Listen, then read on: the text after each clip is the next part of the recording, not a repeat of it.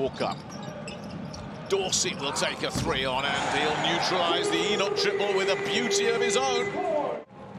Just uh, jammed up earlier. Dorsey said tightly guarded by Enoch, manages to get it around. Here's Vezenkov, lovely move to uh, absolutely leave Matt Costello standing. Need to know about this one. What a lovely move here. Matt Costello off the bench for his EuroLeague debut. And he's turned inside out by Sasha Vezenkov, who then draws the foul. Driving it in. It's all a bit clogged up. A bit of space has opened up on that far side. And, uh, oh, oh, oh, Kostas Papanikolaou. Here's the uh, lovely little reverse.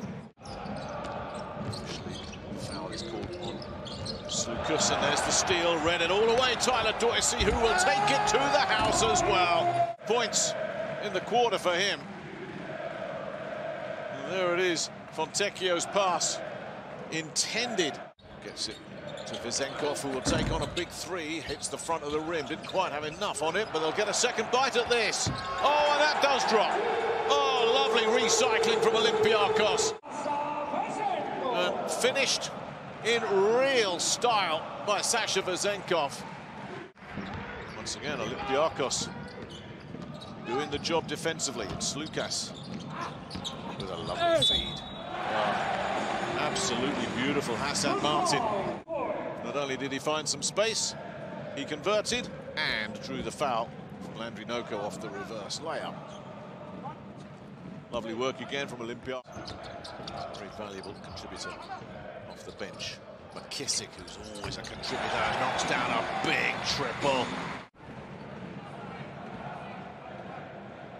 Uh, Shaq McKissick. This lead is getting alarming. And There's another turnover, a lovely flick from Larentzakis. And he'll look for some support here, and Printezis arrives and says... Seven steals now. Granger tried to keep it alive. Sloukas couldn't deal with Fontecchio, so sent it back, and Spanoulis kept his drop. Their long-range shooting has been horribly offline tonight. It really has. Hung up there, the alley-oop from Sloukas to Jean-Charles, but they're still looking back at this. The alley-oop.